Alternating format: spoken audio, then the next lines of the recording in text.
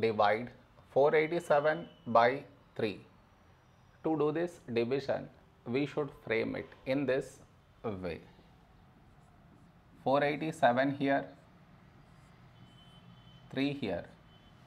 This is your step 1. Next, here we have 4, here 3. A number close to 4 in 3 table is 3 ones 3. Now we should subtract, we get 1. After this, bring down the beside number, so 8 down, so 18. When do we get 18? In 3 table, 3, 6, 18. Now we subtract, we get 0. After this, bring down the beside number, so 7 down, so 7. A number close to 7 in 3 table is 3 twos 6.